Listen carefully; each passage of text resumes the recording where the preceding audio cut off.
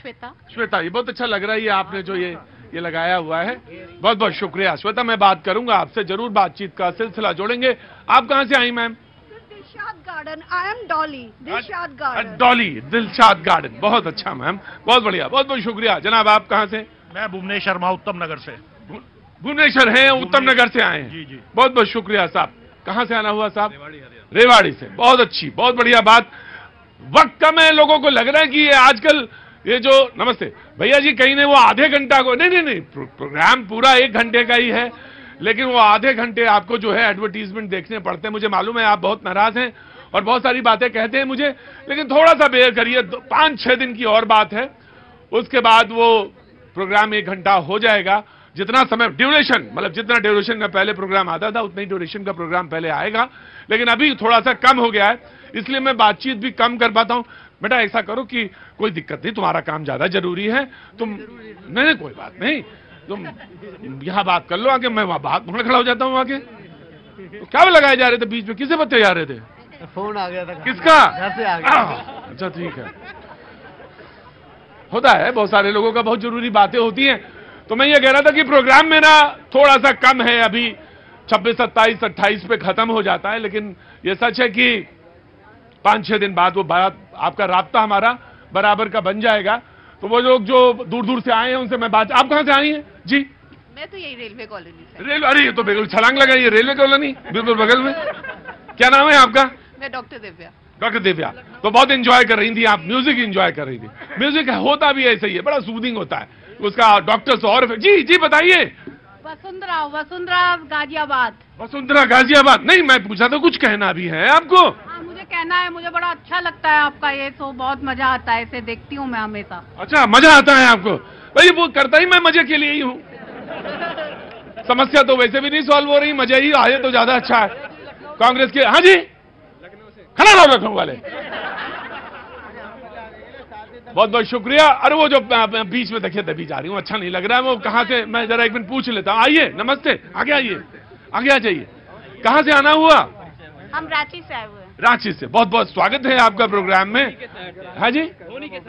धोनी के शहर से। बहुत अच्छा बहुत बहुत स्वागत है। और आप कहाँ से हैं?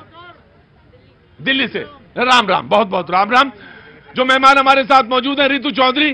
कांग्रेस का रितु चौधरी जी कांग्रेस का पक्ष रखने के लिए मौजूद हैं। बहुत बहुत शुक्रिया Ritu. Thank you so much Rakesh ji. आ, नाम कुछ और लिखा मेरे साथ। जी बहुत बहुत शुक्रिया साहब। Thank you so much BJP का पक्ष रखने के लिए, अभिषेक तिवारी आम आदमी पार्टी का पक्ष रखने के लिए, विनय सिंह बिन्नू, समाजवादी पार्टी का पक्ष रखने के लिए बहुत बहुत शुक्रिया, डॉक्टर नीति शर्मा, राजनीतिक विश्लेषक, बहुत बहुत शुक्रिया। Thank you so much Syed Jawad thank you so much बहुत बहुत शुक्रिया। और अमित श्रीवास्तव, बहुत बहुत शुक्रिया। और हमारे साथ प्रभात पत्रकार, बातचीत करने के सिलसिले को यहाँ पे हैं। कुछ जल्दी से कोई बोलना चाहे हाथ उठाइए, मैं बात कर लो। जी, बोलिए साहब। भैया जी प्रणाम आपके जो ये कार्यक्रम, इसके माध्यम से करोड़ों लोगों की समस्याओं का समाधान होता है। पहले तो आपको साधुवाद। मैं बादली रेलवे स्टेशन की बात रखने आया हूँ, वहाँ सीमेंट उतरती है। माननीय रेल मंत्री जी, डीआरएम साहब प्रधानमंत्री जी और जो वहाँ पर आश्वासन देने आई थी डॉक्टर कनिष्का जी मैं आपके चैनल के माध्यम से उनसे रिक्वेस्ट करना चाहता हूँ। जो आपने लिखित आश्वासन दिया था जो सीमेंट की लोडिंग अनलोडिंग वहाँ हो रही है उसको तत्काल बंद कर दे। लाखों लोगों की जान खतरे में। मैं आपके माध्यम से सभी अधिकारियों से बोलना चाहता हूँ सीमेंट तत्काल बंद कर दीजिए। जी सीमेंट से क्या होता है? लोडिंग अनलोडिंग से सीमेंट उड़ती है। तो डॉक्टर लोग ज़्यादा अच्छा समझेंगे और बताएँगे। तो वो वो, वो पोल्यूशन और उससे बहुत ज़्यादा हार्मफुल है। जी हाँ बेटा क्या नाम है? अरे कॉलेज में तो अरे तो, तो यहाँ आओ आगे आओ। आओ बेटा आगे आओ। क्या नाम है? लक्ष्य। क्या उम्र है? ट्वेंटी। तो तेईस साल का तो मेरा बेटा है। तो तुमको बेटा कह दिया तो मैंने क्या बुरा कहा? ये आजकल के बड़े बड़ा अजीब सा रुख है आजकल के लोगों का। बोले मैं कॉलेज में पढ़ता हूँ। वैसे तो प्रोफेशनली मुझे आपका नाम लेके ही बुलाना चाहिए। लेकिन मैं अपना के नाते कह दिया कोई गलती होगी तो बेटा माफ़ कर देना मुझे। वैसे बाप की उम्र का हूँ तुम्हारी? अगर कोई मैंने गलती कह दी हो तो मुझे माफ़ कर देना है ना? माफ़ कर दोगे कि नहीं? मैंने कहा आजकल माफ़ी भी नहीं मिल रही है आजकल बच्चों से। बच्चे इतने ज़्यादा तेवर में रहते हैं कि माफ़ी भी नहीं देते। कहाँ पढ़ाई कर रहे हो? Tata Institute of Social Sciences. हाँ हाँ तो बड़ा इंस्टीट्यूट है मुंबई का। सोशल और एमएसडब्ल्यू और सोशल साइंसेस और सोशल वर्क का। वहीं पढ़ते हो। तो काबिल लोग ही पढ़ते हैं वहाँ पे। हल्का फुल्का तो आदमी जाता नहीं। पहले तो बहुत बहुत शुभकामनाएँ मैं तबीयत खुश कर दी तुमने जो टाटा इंस्टीट्यूट का नाम दिया। बोलो क्या बोलना है? देखिए मेरा सबटल मैसेज जो है वो केजरीवाल गवर्नमेंट को है। सीधा सीधा कि आप लोगों ने कहा था केजरीवाल गवर्नमेंट ने प्रॉमिस किया था। आ, ये प्रॉमिस किया था कि हम जब गवर्नमेंट में आएँगे तो हम पानी फ्री कर देंगे। उन्होंने बिल्कुल अपना प्रॉमिस फुलफिल किया है। पानी बिल्कुल फ्री कर दिया, पानी आता ही नहीं। So this is a very good analogy कि आप क्या करिए आप क्या करिए, पानी, आप, देखिए, मैं पिछले जब से पैदा हूँ, तब से दिल्ली में ही रह रहा हूँ, रहने वाला यूपी का हूँ, बिजनौर का। वहाँ से सूची मौसम जी विधायक हैं और एक हमारे विधायक हुआ करते थे, राघव चड्डा जिन्होंने कहा था कि मैं कभी विधायकी नहीं छोड़ूँगा और राज्यसभा की सीट के लिए विधायकी छोड़ दी वो अलग बात है। Let's keep the argument aside अभी वहाँ के जो करंट विधायक हैं, वो है दुर्गेश पाठक। और अगर वो यहाँ यहाँ से मेरा प्रोग्राम सुन रहे हैं, मेरा मैसेज सुन रहे हैं, मेरी माँ को रोज सुबह उठकर पानी भरने जाना पड़ता है। मुझे खुद एक एक लीटर पानी जब भी मैं घर वापस आता हूँ, लेके आना पड़ता है। इतनी स्कासिटी मराठवाड़ा में नहीं है पानी की, जितनी स्कासिटी दिल्ली में कर दी गई है। जो डीजीपी के ऊपर फ़िज़िकल डेफिसिट कर दिया गया है और जो अभी ये जो करंट कर रहे हैं, जो भी ये करंट कर रहे हैं। और एक बात मैं और क्लियरली मिस्टर केजरीवाल को स्टेट कर दूँ। Now you come inside now you come What's your good name? Lakshya. Mister Lakshya अब मैं आपको मिस्टर लक्ष्य कह के ही बुलाऊँगा। अब आखिरी सवाल आपका जो है वो भी बोलिए आप। ये टाटा इंस्टीट्यूट ऑफ़ जो मुंबई में है वहाँ पे ये पढ़ाई कर रहे हैं और आप एमएसडब्ल्यू कर रहे हैं क्या? B N B A honours in political science B A honours in political science तीसरा बात आपकी। आ, आ, तीसरी बात जो मेरी है वो सीधा क्वेश्चन केजरीवाल गवर्नमेंट से है कि आप लोगों ने जो भी प्रोमिस किए थे आपने उसे अंडर डिलीवर किया है और कोई भी प्रॉमिस जो है उसे फुलफिल नहीं किया है। और दूसरी बात यह कि मैं अपना वोट 2024 में भी बीजेपी को दूँगा। इस बात के लिए नहीं कि मैं कम्युनलिज्म या किसी मंदिर के लिए वोट दे रहा हूँ। बीजेपी ने एक स्कीम लॉन्च की थी अटल इनोवेशन मिशन करके, जिसमें नीति आयोग ने बहुत सारी स्कूल्स को अटल इनोवेशन लैब्स दिए थे और उसका सीधा बेनिफिट मेरे को मिला। And I am not from a very well off school in Delhi so I still thank and introducing introducing introducing the central university examination test आप जाके पूछिए उन गरीब बच्चों से जो I was able to afford but बहुत बच्चे ऐसे जो दस यूनिवर्सिटीज का एग्ज़ाम अलग अलग टाइम पे नहीं दे सकते। थैंक यू सो मच ऐसे तमाम सारे बच्चों पर बहुत सारा बहुत सारा, मेरी बात सुनो। तुम्हारे जैसे बच्चों के लिए बहुत सारा वक्त तुम पर न्यौछावर बहुत बहुत शुक्रिया। Thank you so much Amit आज की डिबेट स्टार्ट करेंगे। यू प्लीज़ काम आप बैठो आप बैठो। जी जी। सर मोदी जी पर विपक्ष जितने आ गया आ गया आ गया। मोदी जी पर विपक्ष जितने पत्थर फेंकेंगे मोदी उन पत्थरों को जोड़कर एक इमारत बनाएँगे और उसके अपनी सफलता की इबारत लिखेंगे। जी। वैसे स्कीम ये बच्चा जो उसका स्कीम आज जनता जानती नहीं है। हाँ। परिवार पर हाँ। ये बात किया लालू यादव ने। दो देखिए बीजेपी हमेशा माहौल पे जीतती है। एक टैगलाइन पिछली बार राहुल गांधी जी के तरफ़ से आया था, चौकीदार। इस बार लालू जी ने कह दिया परिवार। और आज देश की जनता सोशल मीडिया के किसी भी प्लेटफॉर्म को देखिए, जनता बाहर आके कह रही है कि मोदी मेरा परिवार, मोदी देश मेरा परिवार और मोदी का देश देश का मोदी। तो पूरी तरह से मोदी जी ने कहा कि मेरे लिए नेशन फ़र्स्ट। जी रिस्पॉन्ड करेंगी कांग्रेस की प्रवक्ता ऋतु चौधरी। जी। देखिए अगर मैं आ रहा हूँ आ रहा हूँ इलेक्टोरल पॉलिटिक्स पे आ रहा हूँ। पहले इनको हाँ मैं आऊँगा आऊँगा हाँ। अगर मोदी जी के बयान पर बहस की जाए तो बहुत वक्त लग जाएगा शायद दो दिन भी लग जाए। लेकिन बहुत ही संक्षेप में मैं आपको बस एक सवाल मैं मोदी जी से आपके चैनल के माध्यम से ये पूछना चाहती हूँ कि मोदी जी ने कहा कि 143 करोड़ का जो परिवार है भारत का वो मेरा परिवार है। ये कहा उन्होंने। और उसमें हम पूछना चाहते हैं क्या मोदी जी ने ये भी कहा कि मैं किसी के ऊपर व्यक्तिगत आरोप नहीं लगा रहा। जी। क्या उसमें वो मणिपुर की वो बेटियाँ भी आती हैं जिनको निर्वस्त्र घुमाया गया और जिनका इंसाफ आज तक नहीं हुआ क्या एक करोड़ के परिवार में मणिपुर भी आता है जिसको हाशिए पर रख दिया गया और हिंदुस्तान से बाहर रखा गया क्या एक करोड़ के परिवार में वो किसान भी आते हैं जो 700 किसान शहीद हुए क्या वो भी आते हैं जिनको टेनी ने अपनी जीप के तले कुचल दिया और जो आज लिख रहे हैं ब्रजभूषण शरण सिंह लिखता है मैं भी मोदी का परिवार तो क्या वो बलात्कारी मोदी का परिवार है और अजय सिंह टेनी लिखता है कि मैं भी मोदी का परिवार तो किसानों को कुचलने वाला वो अजय सिंह टेनी भी मोदी जी का क्या परिवार तो ये सवाल आया कांग्रेस ने रिस्पॉन्ड किया? अब किसकी बारी? किसकी बारी? बीजेपी की। बीजेपी आएँगे यहाँ इस खाने में। अरे ना रहा बेटा, ज़्यादा अरे नहीं, पढ़ाई करना बहुत ज़रूरी है अभी। थोड़ी देर बाद ज़्यादा उतावलापन नहीं। जी हाँ जी हाँ।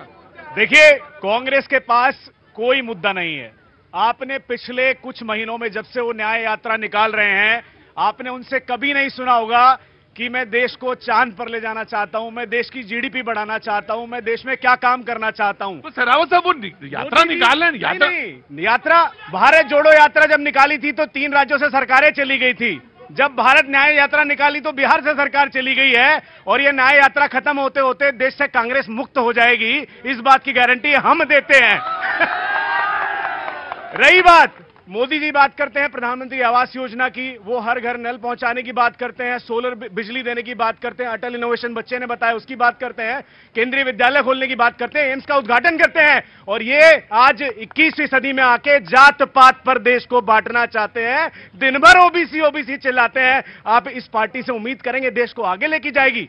ये इनकी कांग्रेस की राजनीति नकारात्मक सोच पर डिपेंड है। नेगेटिव पॉलिटिक्स का हिस्सा बन चुका है ये पूरा गठबंधन! No no no no no मैं आ रहा हूँ मैं आ रहा हूँ। थोड़ा सा मैंने चेंज किया है। बस ये जवाब साहब मुझे दे दीजिए, केवल दो सेकंड अब आप मांगेंगे तो मुझे देना ही पड़ेगा फिर। अब ऐसा ना करिए भाई।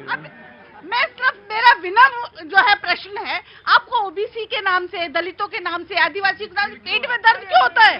पेट में दर्द क्यों होने लगता है? क्योंकि 90 परसेंट जो जनसंख्या है भारत की वो आदिवासी है दलित है ओबीसी है। ऑफकोर्स अब तो वो देना ही पड़ेगा। मुझे मालूम था ये फेरे से बचना चाह रहा था मैं कि मैं चाह रहा था दूसरे लोग भी आ जाए। क्या हुआ? रुको आ रहा हूँ। जी। राहुल गांधी जी को बड़ी जल्दी याद आई कि देश में आदिवासी भी रहते हैं। बड़ी जल्दी याद आई कि देश में ओबीसी भी रहते हैं। सरकारें चली गई, घर से कितने प्रधानमंत्री चले गए, बड़ी जल्दी याद आई भाई।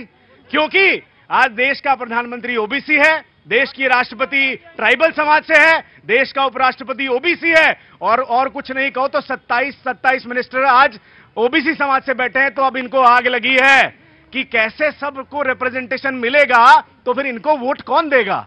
तो इनको अपनी वोट राइट जवाब साहब very quick Samajwadi Party. Billu भाई तैयारी पे हैं आज? बिल्कुल। अरे ल- ल- यो बिल्कुल तैयारी पे है ना? बिल्कुल मजबूती से। मजबूती से ना? बस बस ठीक ठीक ठीक ठीक। सारे भ्रष्टाचारियों का एक ही परिवार मोदी परिवार और भाजपा का द्वार। माननीय प्रधानमंत्री जी कहा करते थे फिर मैं पुरानी बातें अगर कहूँगा उठाऊँगा।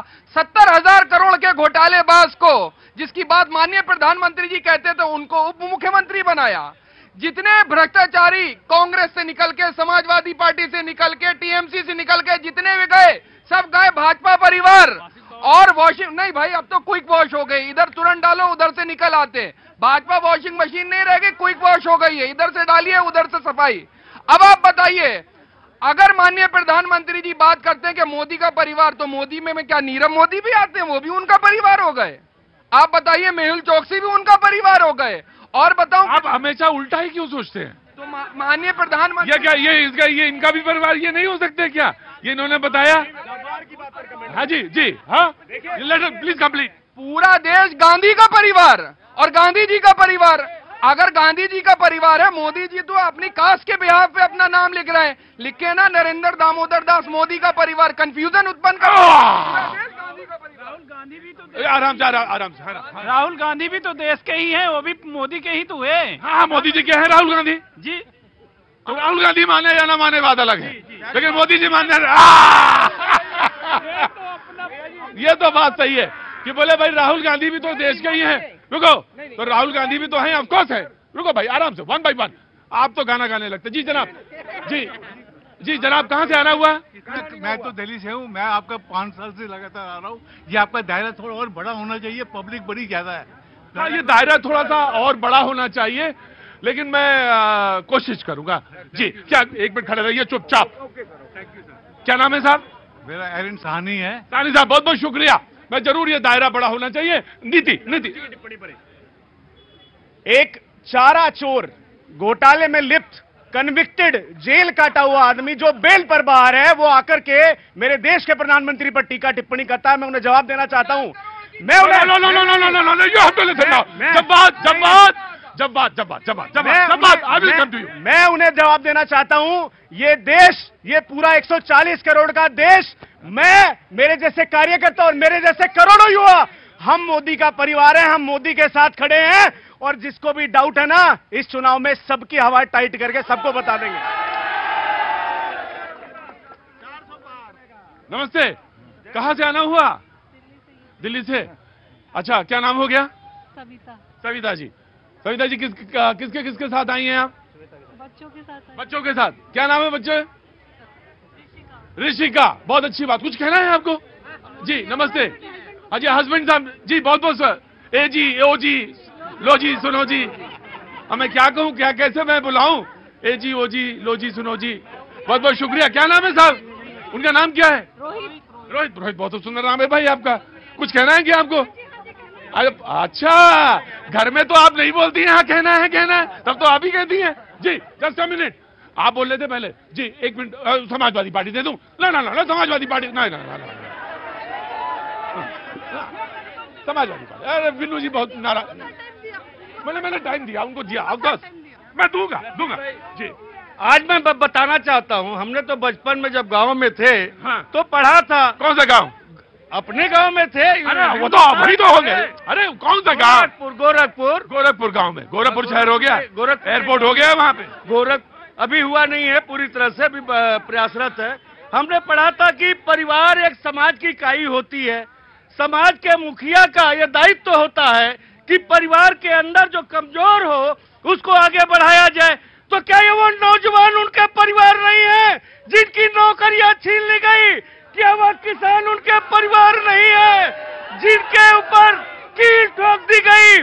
क्या वह नौजवान जो परीक्षार्थी उनके परिवार नहीं है? जिनका पेपर लीक करके उनका भविष्य बर्बाद कर दिया गया। क्या वो परिवार नहीं है? यह मदारी डमरू बजाना बंद करे क्योंकि यह लड़ाई पीडीए की है। यह लड़ाई संविधान की है। रुको बिन्नू जी लगने लगता है यह कैनाट प्लेस की रैली है। नहीं। नमस्कार साहब एक मिनट रुको यार। क्यों डिस्टर्ब कर रहे हो यार? नमस्ते साहब। कहाँ से आना हुआ? जी जन्नत कश्मीर से। जन्नत कश्मीर से। और मेरी नज़रें भी ऊपर वाले ने बात क्या खूब दी हैं। जन्नत में जानता हूँ कहाँ है। रास्ता जानता हूँ मैं पहुँच पाऊँ ना पहुँच पाऊँ बात अलग है। रास्ता मैं जानता हूँ। जी जनाब आ रहा हूँ। जी जनाब क्या नाम हो गया? जी एजाज अहमद। एजाज अहमद साहब। एजाज साहब कुछ बोलेंगे फरमाएँगे? किस बारे में मुझे बोलना है? आपको जो मन में आए चाहे जम्मू कश्मीर से लेकर यहाँ पे कोई बात। मैं आया आपके पास जस्ट वेट अ मिनट जी। मैम हाँ जी मैं आ रहा मैं आ रहा हूँ। जी हुजूर, बोलिए। भाजी जैसे कह रहे हैं, राहुल गांधी का पक्ष ले रहे हैं। इन दस सालों के अंदर ही राहुल गांधी को नज़र आया जातिवाद के बारे में। उससे पहले सत्तर साल, पैंसठ साल कांग्रेस ने सरकार ने राज किया। कहीं पे ब्लास्ट होता था कहीं पर किसी गरीब की इज़्ज़त लूटी जाती थी कहीं पर कोई गलत हरकत होती थी। इन पैंसठ सालों में कोई इनको नज़र नहीं आई राजनीति की बात। इन मोदी जी की राज में इनको छोटी छोटी बातें नज़र आ रही है कि कहीं से भी कुरेद कर कोई गलत चीज़ें निकाल के ले आए और मोदी पर आरोप लगाए। ये राहुल गांधी के परिवार को अब नज़र आ रहा है और कांग्रेस पार्टी चौबीस में क्या होगा? चौबीस में मोदी जी आपकी आपकी बार बार चार सौ पार। दिल से कहते हैं आपकी बार चार सौ पार। चार सौ पार। एजाज भाई अरे प्लीज़ कम फॉरवर्ड एजाज भाई को आने दीजिए आगे। जी, जन्नत कश्मीर से एक मिनट। भाई, आपको मैं बहुत जी, यहाँ हिंदुस्तान में एक मसला है कि ये यहाँ जो भी है, वो कहता है कि कश्मीर में हालात खराब है। लेकिन उनको खुद वहाँ आके देखना है कि वहाँ कैसे हालात है। जब से मोदी की हुकूमत आई है, वहाँ बहुत ही अच्छा है आजकल। लोग घूम रहे हैं, हम रात भर घूम रहे हैं। मेरे पास बोलने दीजिए बोलने दीजिए। वॉइस है वॉइस है कश्मीर से है बोलने दीजिए। हाँ जी। आज मैं दिल्ली में घूम रहा हूँ बिना किसी कार्ड के। कश्मीर में हमें पहले अ, जहाँ जाए वहाँ कार्ड दिखाना पड़ता है। कश्मीरियों को कश्मीर में ही कार्ड दिखाना पड़ता है। आज मैं दिल्ली में घूम रहा हूँ मुझे किसी ने कुछ नहीं कहा यहाँ। आप कहाँ के हो सब उन्हें रेस्पेक्ट किया इधर। देखिए यकीन मानिए मैं इस बात का भी आपका भी बहुत शुक्र शुक्रिया अदा करना चाहता हूँ। और और होना भी नहीं चाहिए होना भी नहीं चाहिए। जब हमारे मुल्क में आप हैं हम आपका एक ही मुल्क है एक ही तरह की रहन सहन है एक ही तरह का खान पान है तो काहे के बीच की दूरियाँ? हाँ थोड़ी बहुत खटपट ज़रूर होती है। वो खटपट भी लाजमी जहाँ चार बर्तन होते हैं वो तो बहन जी खड़ी है पीछे। जहाँ चार बर्तन होते क्या होता है? आगे आओ। जहाँ चार बर्तन होते क्या होता है? खटपट। क्या नाम है? सुमन। सुमन खड़ी रहो मैं आया नीति। जी। आँखों में हो गुरूर। आँखों में हो गुरूर। तो इंसान को इंसान नहीं दिखता। आँखों में हो गुरूर तो इंसान को इंसान नहीं दिखता। जैसे छत पर चढ़ जाओ तो अपना ही मकान नहीं दिखता। गांधी जी का नाम लेने वालों को पूछो कि हे राम का जो नारा देके गांधी जी गए रघुपति राघव राजा राम और आज आपके अलायंस जो बोलते हैं या राहुल गांधी जी मंच से बोलते हैं भरी सभा में बोलते हैं कि जय श्री राम बोलोगे तो भूखे मर जाओगे। जिन्होंने राम के अस्तित्व के लिए प्रश्न किया वो बात करते हैं। ना इनको अपना मकान दिखता है, ना संविधान दिखता है। बिन्नी जी संविधान की बात करते तो उसी संविधान में भारत की एकात्मता दिखती है। भारत की एकता दिखती है और उसी को खंड करने का प्रयास कांग्रेस और उसके अलायंस कर रहे हैं। किस प्रकार से नॉर्थ और साउथ में बांटने का प्रयास कर रहे हैं। ये है भारत का लक्ष्य सामने बैठा है। आज वही कांग्रेस देखो, सपा को बोलने नहीं दे रही थी। तो ये पता चलता है किस प्रकार से अपने सुख के लिए केवल इन्होंने अलायंस किया है। भारत का लक्ष्य वो कुछ बोलना चाह रही, दो मिनट के लिए कहना चाह रही थी। ऐसा है प्रतीक जी ये जो भ्रष्टाचार और राजशाही में डूबा हुआ विपक्ष है इसको पता होना चाहिए कि ये है पूरा जनसमूह है ये मोदी का एकमात्र परिवार। जी कांग्रेस। तुम नहीं बोले आज नंबर ही नहीं आया आज का अरे आप कौन आ गया सारे लोग ताली बजाओ पहले आपके लिए। बकवास कर भगा देंगे? हाँ जी। बोलो। प्रतीक भाई, भारतीय जनता पार्टी के नेता नरेंद्र मोदी जी कहते हैं 140 करोड़ हमारा परिवार है। निश्चित रूप से हम भी उसी परिवार में आते हैं और हमारे वो प्रधानमंत्री है तो निश्चित रूप से मुखिया हैं। लेकिन ऐसे मुखिया पे लानत है प्रतीक भाई, और ऐसा कौन सा मुखिया है जिस परिवार का प्रतीक भाई? धिकार है ऐसे मुखिया पे। प्रतीक भाई, जवाब लीजिए। ऐसे मुखिया पे धिक्कार है जिस परिवार में महिलाएँ का अबरू लूटा जाता है, वो मुखिया कुछ नहीं बोलता। जिस परिवार में इनको हटाओ जिन्होंने प्रधानमंत्री के लिए लानत शब्द का इस्तेमाल किया है ये देश का नागरिक ही नहीं है। जिसने ये बात बोली है? क्यों बोली इसने बात? ये बात बोली क्यों? लालच शब्द ध्यान रखना चाहिए ध्यान रखना चाहिए। अब कस दस करोड़ जी। अरे भाई तुम किसी भी पार्टी के हो वो प्रधान सेवक तुम्हें अपना परिवार मानता है इसीलिए तुम्हें कोविड में वैक्सीन लगवाई है। वो तुम्हारी भी जान की चिंता करता है, इसीलिए तुम्हारे दिल्ली के अस्पतालों में ऑक्सीजन भी पहुंचाई थी। ये वही प्रधान सेवक है जो आपके घरों में अनाज भी पहुंचाता है, आपका घर भी बनवाता है, किसान को सम्मान निधि भी देता है। ये सबको अपना परिवार समझता है, इसीलिए बिना भेदभाव के इस देश का विकास करता है। जवाब ले लीजिए। मैं कह रहा हूँ कि प्रधानमंत्री जी जितने इतने इनके प्रधानमंत्री, उतने हमारे भी प्रधानमंत्री हैं। लेकिन ऐसा कैसा मुखिया कि जब हमारे महिलाओं का आबरू लूटा जाता है, मुखिया के पास समय नहीं होता जवाब देने के लिए। जब महिलाओं का महिला अपने अधिकार मांगती है, उनके लिए समय नहीं होता। जब युवा और रोज़गार मांगते हैं, जब हमारे किसान फाद फो किसानों का फहादत हो जाता है तो प्रधानमंत्री के पास समय नहीं होता। ऐसा कैसा मुखिया है? और प्रतीक भाई, जो जो ये देखिए, मैंने हमेशा इस बात का, भाषा का आचरण सर्वोपरि है। मैंने हमेशा कहा कि केजरीवाल जी और मुझे कहना चाहिए मैंने कोई कलाकारी नहीं करी क्योंकि वो चुनाव हुआ मुख्यमंत्री है और कोई भी हो जो उसको जी से अपना बोलना चाहिए। लेकिन लानत शब्द है, है धिक्कार है कैसा प्रधानमंत्री ये शब्द अच्छे नहीं लगते। आप बहुत पढ़े लिखे, आप बहुत अच्छे प्रवक्ता हैं आप। यकीनन आप बहुत अच्छे प्रवक्ता पता नहीं आपको क्या हुआ आज। आप कैसा बोले यहाँ पे हाथ उठा रहा था। हाँ, हाँ, हाँ। रुको क्या हुआ? मैं मैं पिछले तीन महीने से ना भाई का इलाज करवाने आया हूँ एम्स में। न दवा दारू की न सुविधा है। देखो इतना सारा रिपोर्ट करवा के लाए। यही मोदी सरकार की देना है। देखो पचास हज़ार का चेकअप करवा के लाया है। हॉस्पिटल में दवा मंजूर है। आज भी दौड़ रहा है डॉक्टर कह रहा है बेड खाली नहीं है। आज भी डॉक्टर कह रहा है कहाँ से ले? ये मैं बिहार से आया हूँ। नहीं नहीं तो ये रहा ये पर्ची। कहाँ इतना सारी पर्ची यही है मोदी का यही है। ये मेरा डेट मिला हुआ है देखिए सर सत्ताईस बाईस दो का। तो दिखाया तो तुमने? देखो ये पहले कितना पहले है। हाँ हाँ। अब अरे भाई हूँ सत्ताईस। रुको यार सत्ताईस फरवरी चौबीस को दिखाया। हाँ ये ऑपरेशन का डेट है। सत्ताईस दो। डॉक्टर बोल रहा है कि बेड खाली नहीं है मेरे पास सुविधा है। ठीक बताओ। मेरी मेरी बात सुनो मेरी बात अरे मेरे अरे मेरी बात सुनो नाराज़ ना हो बेटा। प्रोग्राम के बाद बात करेंगे। और एम्स में तुम तो दिखा भी लिए। बहुत बहुत सारे लोग दिखा के नंबर ही नहीं आता। जी जी। तो आरएमएल में ये कहाँ का है? आरएमएल है राम मनोहर अच्छा राम मनोहर तो एम्स का बोल। रहे हो जी नहीं कह रहा था जो भाई आप लानत का शब्द बोल रहे हैं रिस्पेक्ट सबको देनी चाहिए जो जैसा है वो अपने लिए है। मगर इंडिया के लिए है वो हमारे चुने हुए प्रधानमंत्री है मुख्यमंत्री है। रिस्पेक्ट सबको देनी चाहिए। क्या नाम है तुम्हारा? जुबेर राणा। जुबेर? राणा। जुबेर राणा कहाँ के रहने वाले हो यार? लोनी से। लोनी से? यार तुम तो बहुत गजब के यार बोलते हो। यार जुबेर राणा। जी। मतलब तुम्हारे लिए रिस्पेक्ट तो बहुत बड़ी मेरे लिए। मेरे दिल में बना जगह क्या- क्या बात है जुबेर राणा? तो क्या आपका आपकी बात क्या है? आपका मशवरा क्या है आम आदमी पार्टी के प्रवक्ता के लिए? ये बताइए। जी वो अपने हिसाब से अपनी सरकार चला रही है बीजेपी अपने हिसाब से अपनी सरकार चला रही है मगर बीजेपी से बढ़िया सरकार कोई चला ही नहीं सकता। जुबेर राणा मतलब ये बताइए कि 24 में होना क्या है? 24 में बीजेपी आनी है। जी मैं आया मैं आया, हाँ। आपको कुछ बोलना है? बहुत वेरी वेरी वेरी क्विक अभी वो रह गए प्रभात रह गए तो उसके बाद। जी प्रभात रह गए। सर एक बहुत दो चीज़ों को एड्रेस करना था मुझे आज। जब सरदार पटेल साहब ने इस देश का एकीकरण किया उनका सपना था कि भारत एक रहे भारत एक देश के रूप में जाना जाए। आज कांग्रेस की अलायंस पार्टनर का एक बहुत बड़ा नेता ए राजा ये कहते हैं कि तमिलनाडु अलग देश है उड़ीसा अलग देश है कश्मीर अलग देश है, दिल्ली अलग देश है। आप किसका अपमान कर रहे हैं? सरदार वल्लभ भाई पटेल का अपमान कर रहे हैं? सुबह जो राहुल गांधी महाकाल के दर्शन के लिए जाते हैं, वो अपने अलायंस पार्टनर को ये कहने से नहीं रोक पाते कि तुम श्री राम का अपमान ना करो, वो भगवान हनुमान का अपमान ना करे। वो कह रहे हैं, मुझे इस चीज़ से कोई आपत्ति नहीं है। वो इस चीज़ की तुलना जो है एचआईवी से करते हैं, वो इस चीज़ की तुलना कोविड से करते हैं, भारत को एक देश नहीं मानते हैं, और वो कांग्रेस पार्टी जो दम्भ भरती है कि उसने आज़ादी की लड़ाई में बड़ी भूमिका निभाई, उसके सर्वे सर्वा मुँह में दमी दही जमाए बैठे बैठे रह जाते हैं।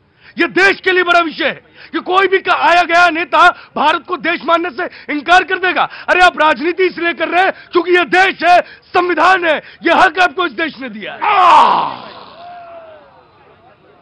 वाह प्रभात जी भाई आइए आइए वाह।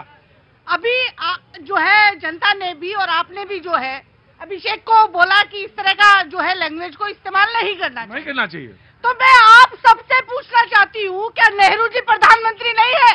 जिनके बारे में पार्लियामेंट में हम शब्द बोले जाते हैं। क्या मनमोहन सिंह प्रधानमंत्री नहीं थे क्या उनको जो है बोला जाता है उनको बारे में अब शब्द बोले जाते हैं कि वो जो है रेनकोट पहन के बाथरूम में नहाते हैं और ये किसी और के शब्द नहीं है ये हमारे माननीय प्रधानमंत्री जी के शब्द है और वही प्रधानमंत्री जी जो ये कहते हैं कि कांग्रेस की विधवा कौन थी वो पचास करोड़ की गर्लफ्रेंड कौन थी ये माननीय प्रधानमंत्री जी के शब्द है जो न केवल महिलाओं का अपमान करते हैं बल्कि उन प्रधानमंत्रियों का भी अपमान करते हैं जिनका सहयोग इस देश को बनाने में रहा है जी मैं मैं बीजेपी को लेटर लेटर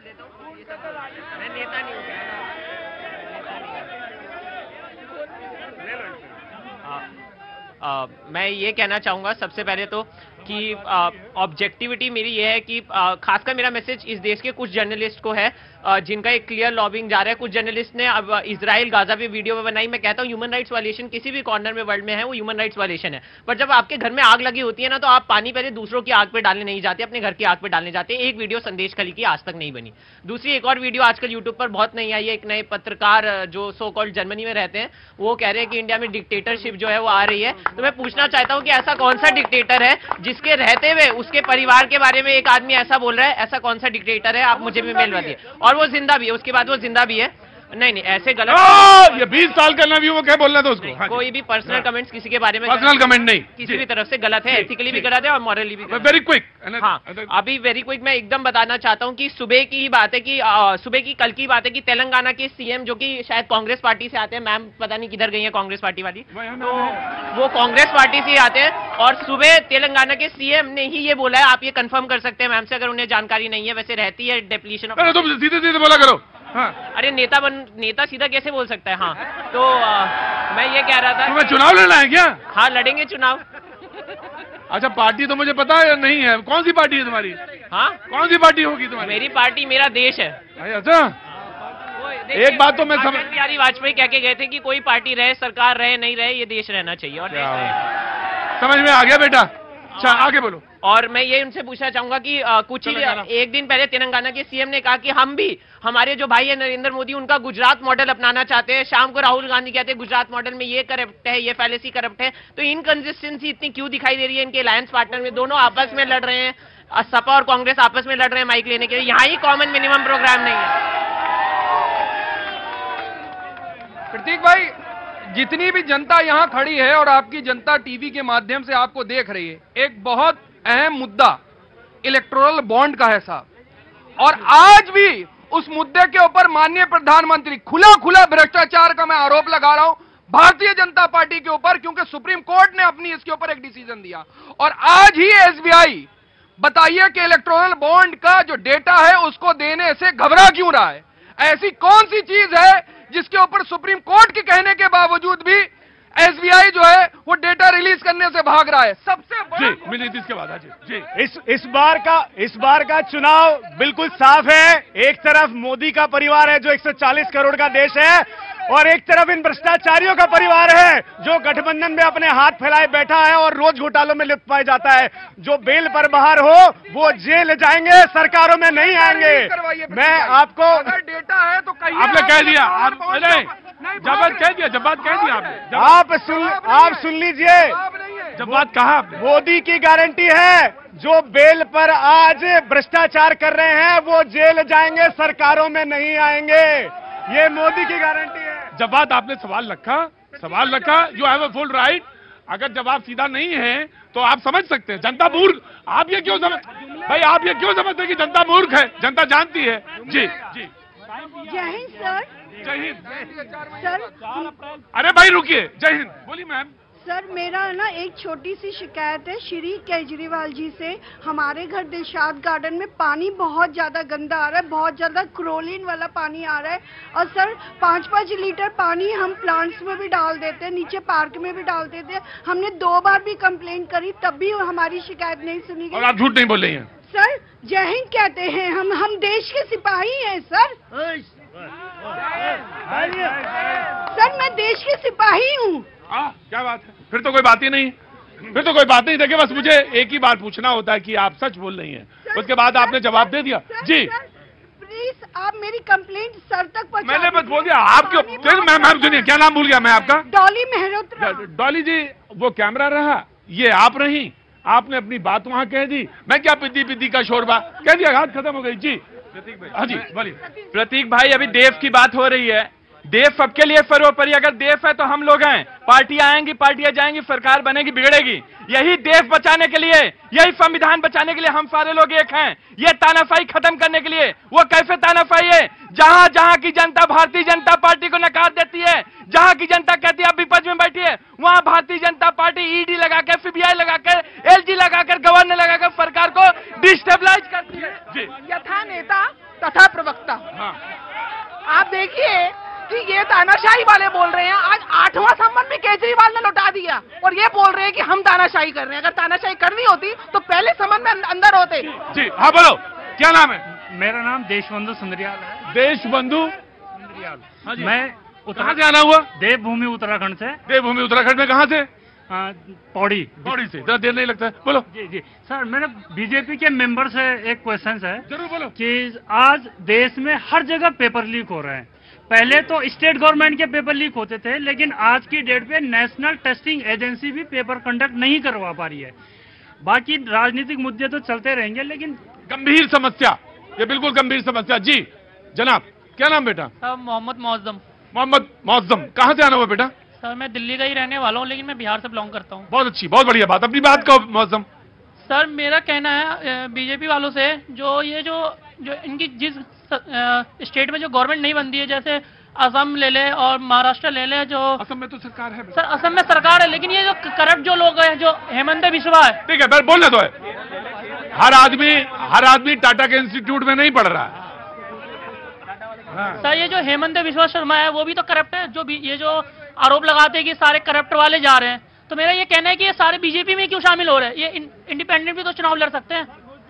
अब इसका तो वैसे तो साधारण जवाब ये है कि भाप के लोग वहीं जाते हैं उसी टापू में जाते हैं जहाँ पे लगता है कि मामला सही है बच सकते हैं। अब बाकी अब तो, तो बड़ी राजनीति में तो राष्ट्र ऊपर है। सर लेकिन इनके माइंडसेट में तो ये भी हो गया कि करप्ट विपक्ष में करो और सीधा भारतीय जनता पार्टी में शामिल हो जाओ। सीधा उनके बाद तो सीधा जवाब दे दिया बस। जी बोलिए अमित जी। देखिए करप्शन के जहाँ तक बात है हेमंता तो इतने दिनों से मुख्यमंत्री हैं आपके साथ रहते हैं करप्शन करते हैं भाजपा के साथ आते हैं करप्शन मुक्त हो जाते हैं। और परिवार की बॉन्ड की बात प्रतीक जी भाजपा का परिवार बलात्कारियों का भ्रष्टाचारियों का परिवार है। अब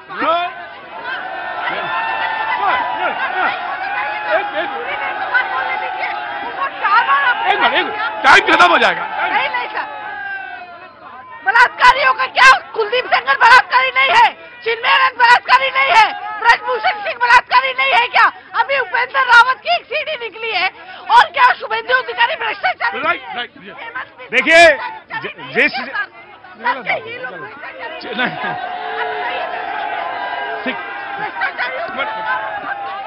देखिए जिस जिस जिस जिस मोदी विरोधी ने आज तक देखिए जिस जिस मोदी विरोधी ने आज तक मोदी जी का अपमान किया उनका हाल देख लो। मणिशंकर का हाल देख लो। अब्दुल्ला का हाल देख लो। महबूबा मुफ्ती का हाल